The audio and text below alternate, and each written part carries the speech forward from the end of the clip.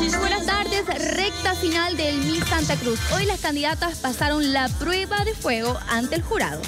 Las aspirantes a la corona cruceña indican sentirse preparadas, esperando con ansias la entrevista con el jurado calificador rumbo al Miss Santa Cruz. Así es, de hecho soy la primera, un poquito nerviosa, pero bueno, ya estoy preparada. Hay un poquito de nervios por ahí, emociones encontradas, pero contentísima, feliz. ¿No? Estamos 17 candidatas aquí a la espera ¿no? de los jurados y bueno, que nos vaya muy bien a todas.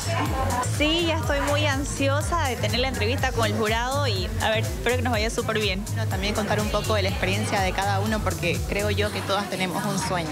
Además, mencionan que fueron días de preparación para poder llegar a la noche final, donde se conocerán a las nuevas representantes del Miss Santa Cruz. Muy ansiosa, muy feliz de esperar esta noche y bueno, súper preparadas para dar lo mejor. Sí, es un proceso largo, requiere mucha disciplina, mucho trabajo, así que estoy muy ansiosa porque ya llegue la noche final pedirle el apoyo a todo nuestro público en general, a toda nuestra querida Bolivia Santa Cruz, que nos apoye con un corazoncito con mensaje de apoyo, con mensaje de amor, que es lo que nos anima un poco más.